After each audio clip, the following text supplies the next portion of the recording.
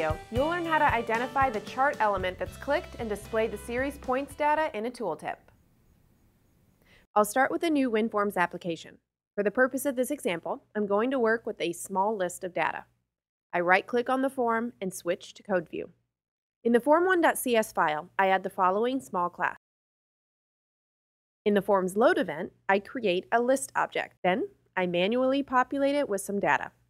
I switch back to Design View. From the toolbox, I drag and drop a chart control onto the form. The chart wizard is invoked automatically. I switch over to the series page and remove the two automatically generated series. I'll be creating one later from code. I click Finish to close the wizard. I select the empty chart control and set its dock property to fill. I return to code view. Within the form's load event, I add the following code to bind the chart control to the sample list of data. Notice that I need to create a reference to the devexpress.XtraCharts namespace. I switch to Design View.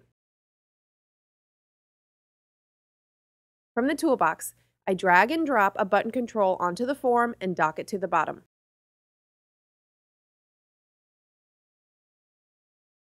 I'll set its caption to Show Wizard.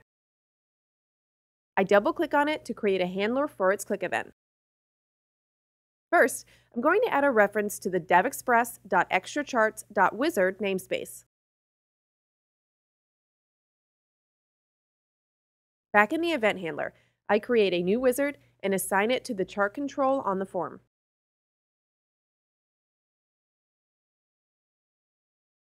Then I add the code to display the wizard. I run the application to demonstrate the default behavior. I click on the Show Wizard button and the chart wizard is invoked. Pay attention to the order of the pages listed in the construction group. For the purposes of this demo, I'm going to use code to move the appearance page to the bottom of the construction group. I close the wizard and the application to return to Visual Studio. In the event handler, I create a new list of type wizard page. It's then populated with the pages from the construction group. I'm using index 0 because construction was the first group on the wizard.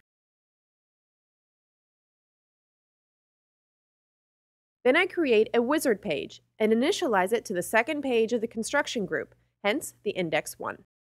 I remove the appearance page from the list. And I add it again.